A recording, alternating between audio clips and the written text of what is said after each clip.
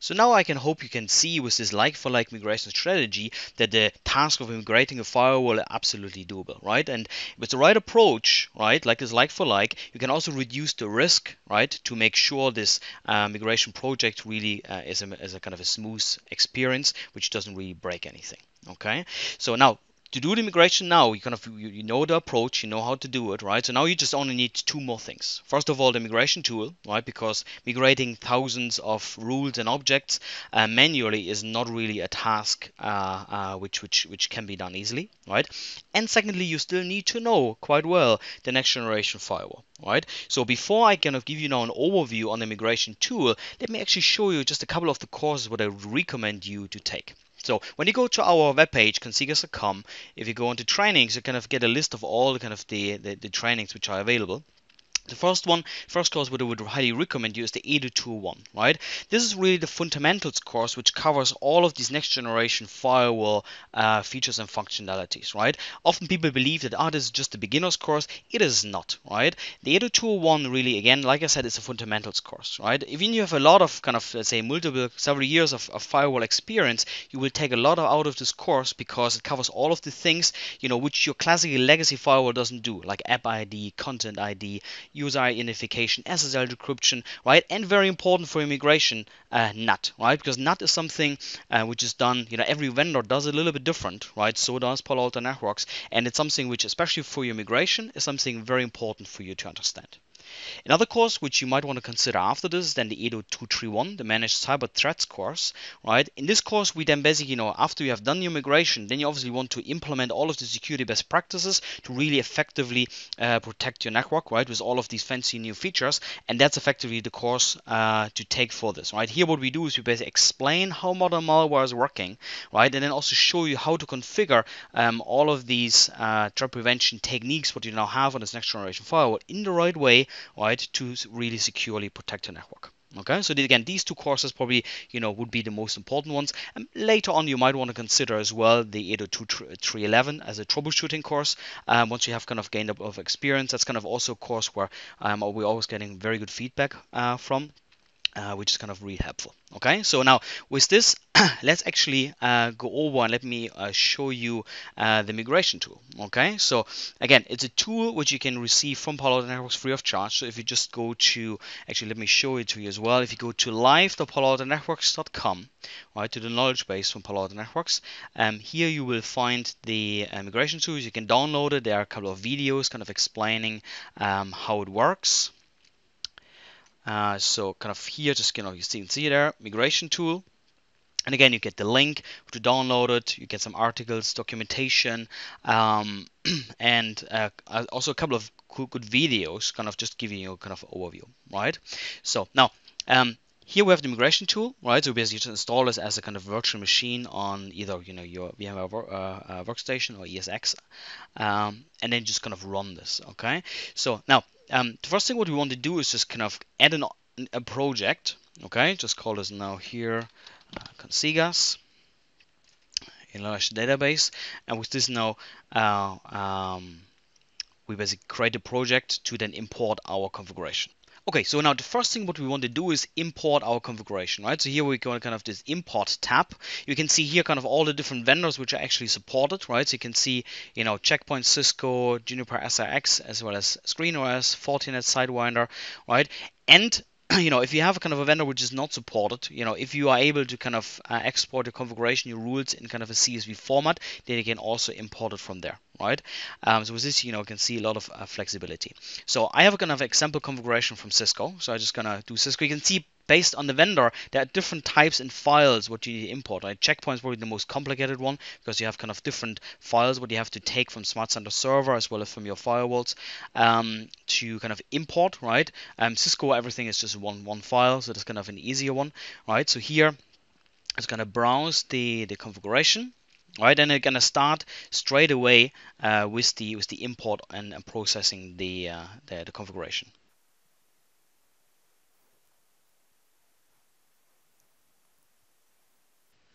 Okay, so now that the firewall uh, configuration is imported, right? You know, the first thing you can see is kind of the, your, your your your policy. Um, now, depending on how big your configuration is, this kind of entire process can take a while, right? You can see here my configuration is quite big, kind of, kind of close to thousand rules, um, right? So kind of here you can see then already kind of the entire uh, rule base. Now, again, um, a rule base on a firewall, especially kind of the legacy classical firewalls, it is actually pretty simple, right? Because you have a, a source IP, a destination IP, and a service or kind of a port, right? And that's really it, okay? Now on Palo Alto Networks, we can see there's one additional thing what comes on top is our zones, right? Now depending on the firewall you have, these zones uh, will already be pre-allocated, right? If you have Cisco, like in my case, uh, it will basically use the um, interface groups uh, um, as as the um, as the name for, for the zones, right? If you have checkpoint where there is no zones whatsoever, then you can create zones and based on a routing table it will actually automatically kind of generate or kind of calculate itself you know what zones should be allocated uh, to what rules okay? So again this zone adaptation right uh, you can also do directly with the, the, the with, with the migration tool okay? So now the, the first thing probably what you want to do before you start uh, of is actually here start with your network interfaces okay? So with this kind of routing symbol tab here we have all this of interfaces. You can see the interfaces are still named like the interface name what you had on your original configuration right? Obviously on Palo Alto we don't have an interface called gigabit ethernet or something like this. So now what you can simply do is go in here and now basically do the, the interface mapping right? So saying okay let's say this I want to allocate to interface 1 okay? Uh, like that and then you basically know it applies uh, these new interface names directly to it. And um, so while I said you know we want to do a like for like migration, the interface mapping, let's say the interface mapping on your old firewall is a little bit messy and you want to kind of rearrange this a little bit, that's something what you can easily do here, right? So uh, so that's kind of something you know want to kind of when you clean it up, there's something where you can easily change interface. Let's say this interface here, you say okay, you know this I actually want to have you know the um, the inside LAN I want to have it on Ethernet 3 right? And then let's say my uh, my DMZ like this one here right? I want to have this one on uh, Ethernet 2 okay? So with this you know I can easily kind of rearrange um, all of the interfaces and make sure kind of you know you have the interface mapping which you want to use on your new uh, firewall right? Also things like sub interfaces like we see here also this is possible okay? No problem at all. You know if you have a management interface obviously you know that's something where we have completely separate on our next generation firewall. So something like this you know we just kind of can delete this interface so with this, you know, can do a kind of a, a quite kind of cleanup uh, with, with, with all, all the rules, right? You can see here also tunnel interfaces. Now that's something special to actually uh, Cisco configuration because in Cisco, the migration tool also does support the migration of VPN tunnels. Okay, so that's kind of a, a big plus. It is something where you should still kind of verify the, the, the, the configuration and kind of all the settings, right? But in general, it's quite nice that you can actually, you know, uh, automatically migrate VPN tunnels as well. Okay, so other things we have are zones, right? So kind of again here, depending on what firewall you have, you know, these zones are kind of pre-named. If you want to rename them, let's say are your inside um, zone, you want to kind of uh, maybe rename into office because that's your office network. Then let's say something like uh, outside. Uh, sorry, we need to allocate this visas. Okay, things like the outside zone you might want to kind of rename into internet because it's your internet connection right? Again these zones by the way there's, there's no nothing no special zones. If you maybe have a bit of a background from juniper you know there are kind of special zones with kind of special functions. On, on palo alto you know a zone is a zone right? Um, you can can name them what they are. Um, nothing nothing special there okay So again, you know, something which you can then, you know, easily of clean up and, and, and do here as well. Uh, same for the routing configuration, right? As you can see here, our virtual router with all the, the routing configuration, all the interfaces which have in there, all of your static routes. So all of this kind of will be taken over. If you want to have to do kind of, you know, slight changes and customizations, you can always uh, do this then here as well, right? One thing, for instance, where you probably want to do route changes is when you configure your uh, VPN tunnels, right? Because remember on the Palo Alto, we have a route-based VPN versus kind of a policy-based based VPN on most other vendors' firewall. So that's kind of something where you want to configure this here as well. You can see here now in, in, in with our Cisco example, um, the routes are already kind of created, right, and pointing to the right tunnel interface. Okay, so again, here, you know, it's quite advanced uh, on kind of, you know, uh, migrating this configuration, which I think is uh, pretty nice. And I've done a really good job here. Okay. The next thing you can look at as well actually here objects. Okay, so you can see, you know, address objects, group objects. You can see all the services. Services are basically the ports, right? Um, and you can see here classically that there are, you know, a lot of uh, uh, objects which are not used. So you can see here kind of there's a red symbol. It basically means that uh, this particular object is actually not used in the rule base. So that's something, you know, where we can, you know, do a bit of a cleanup job as well. Okay. So the first thing what you should always do, especially when you change things like routes, maybe you change things in your security policy as well, right? Um, what you then always want to do first uh, before you do this cleanup is click here on this red icon just to calculate all the used objects, just to kind of verify which objects are used, which ones are not used. Okay, so and then from here, then you basically click on the red dot, right, and basically remove all the unused objects. So you can see here there was kind of a 1737 um, serve, uh, address objects. If I remove the unused ones, you know, kind of about a hundred less. Okay, so on groups the same thing. You know, reduce them. Uh, probably on services here. Actually, the services they are actually also deleted straight away as well, right? If you do this exercise, it really kind of does it for address object services um, there as well. Okay, so you can here, you know, also uh, uh drastically re reduce the size. Okay. Good. And then obviously, you know, you have your kind of uh, security policy as well, which you can also verify. Um, now, here I only would want to give you kind of a quick overview on the functionality so you have seen it and kind of see what it is right? Um, when it comes to the migration tool there are a couple of more caveats and things you need to know right to, to make kind of a smooth migration especially when it comes to NAT you can see for instance here a lot of rules are actually marked right because there's a corresponding NAT rule uh, to these rules. So that's kind of something where you should you know NAT rules is something which you usually do need to verify um, to see kind of that they're kind of you know were translated correctly because you know it's not kind of taking this from an existing firewall. It's not always you know kind of uh, fully explicit on you know what this would be then on the Palo Alto, right? So, uh, so that's something again where a little bit of kind of manual checking is always still still involved, right? But still, you know, looking at this, right, migrating all of these rules just at once and doing this manually would be a task which is, you know, I think absolutely impossible. Okay.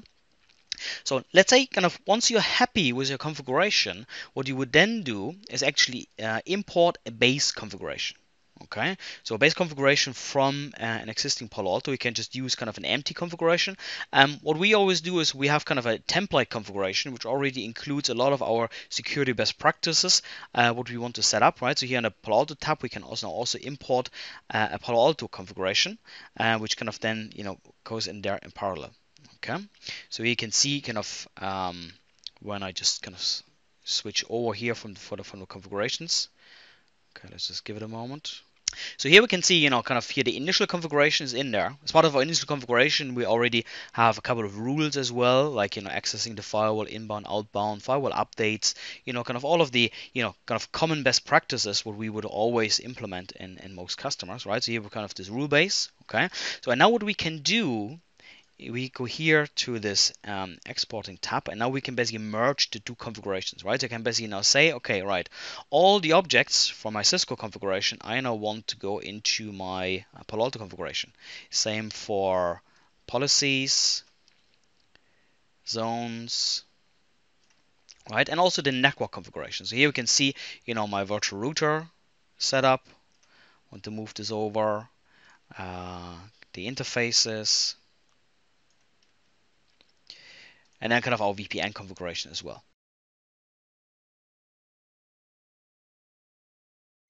Okay, so now basically you have kind of merged the configuration, right? You can basically say what you want to take over.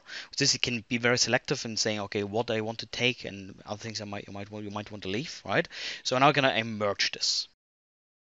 Good. So and now when we kind of here go again into our uh, security policy, what you will see is now that here we basically have now the entire rule base.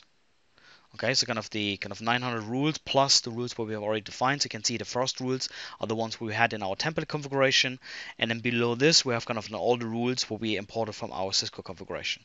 Okay, so this is now important because you know um, while I said you kind of from the migration strategy point of view we want to do a like for like migration, there are still certain things from, from, from a feature and security point of view what we should actually enable straight away. Okay especially kind of security profiles. So this is kind of your, your antivirus anti-spyware vulnerability protection right? Um, it is safe enough to kind of you know uh, apply some base uh, security profiles here already to every single rule right? So that you can make sure right even if you implement the firewall um, that you know these kind of basic things are already done right?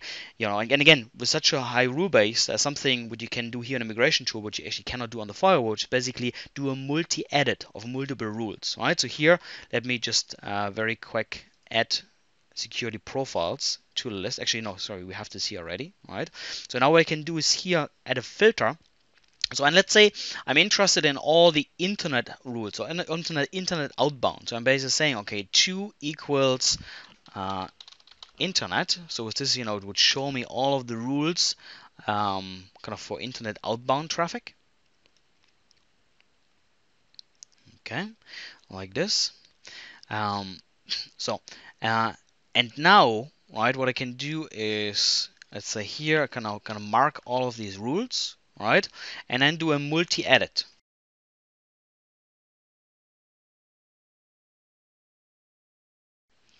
And here in the multi-edit, I can now basically choose my kind of profile, right? I can kind of choose dedicated profiles. You know, again, these profiles, where are they from, right? They were already defined in our template configuration, right? So that's kind of why we, you know, wanted to import the template configuration, our base configuration, um, and there, the kind of these these ones were already defined. Um, so and now, you know, can define these ones. Usually, what we recommend is, you know, to apply groups to rules. So let's say for all the internet outbound rules, we apply a group internet outbound, right? Um, and with this basically make sure that you know all of the rules are basically covered. All of the rules have a security profile applied to it. Okay, so now you can see all of the rules have one applied. Now, this would have been a lot of clicking on the GUI if you would have to do this manually okay? So again here we're using these filters you know pretty nicely. You can you know uh, uh, separate this. Usually what we recommend is you know uh, kind of do different groups for internet outbound traffic internet inbound traffic uh, VPNs or things like going to third parties um, as well as internal ones. Okay? So this is usually kind of how we um, do the, the differentiation. So once you're kind of happy with your configuration then you just go here again to the outbound tab and you basically can here now generate your configuration And now here on Palo Alto Networks, similar to Juniper and, and Cisco, right, the entire configuration is just in one file. In Palo Alto Networks case, it's an XML file. So here we can, you know, just one XML file, uh, we can uh, just save and then import into our uh, next generation firewall.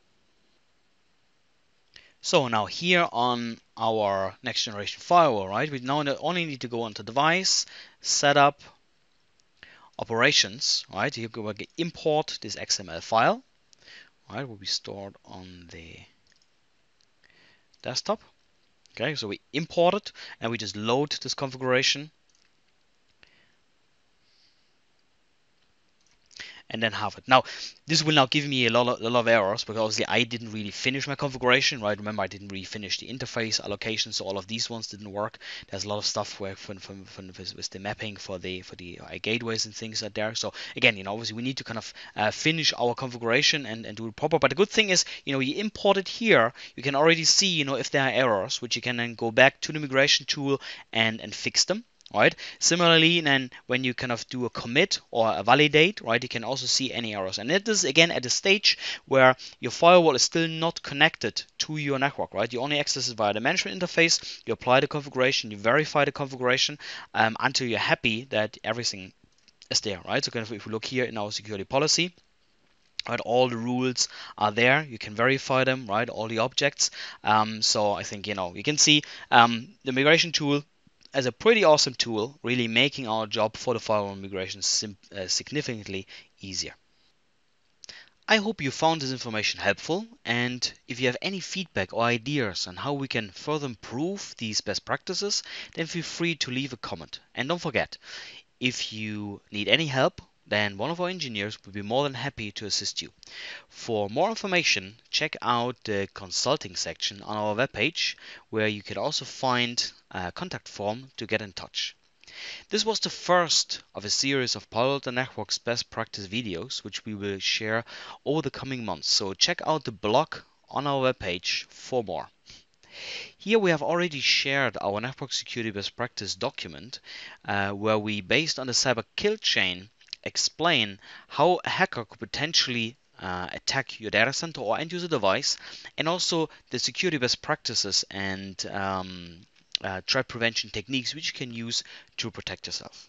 With this, thanks for watching, and maybe talk to you soon at one of our Palo Alto Networks trainings. Thank you.